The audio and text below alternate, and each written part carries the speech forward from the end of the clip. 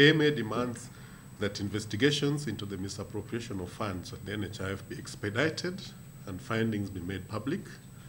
All those found culpable of wrongdoing should be made to face the law. The Kenya Medical Association and the Doctors Union yesterday demanding the disbandment of the caretaker board at the troubled NHIF to pave way for the establishment of a new one.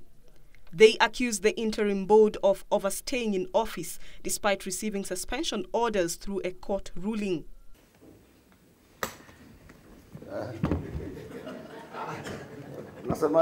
But the caretaker board, led by COTU Secretary General Francis Atwoli, says the board is only facilitating the return of sanity to the insurance fund.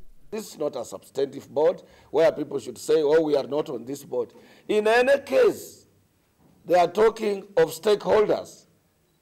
National Hospital Insurance Fund, National Social Security Fund, they are not funds for stakeholders. People who hold stake like this. These are funds for social partners. Social partners are participants. Participants are workers and employers. Atwoli defended the interim board's stay, saying so far the first interim report is complete and was handed to the president.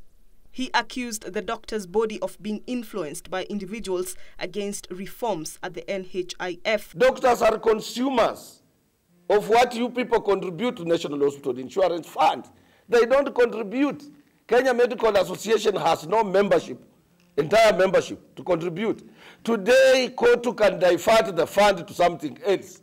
We can ask workers to form our own independent insurance fund, and that thing will die. The interim board at the same time requested for an extra three months to complete the comprehensive report and source a new CEO.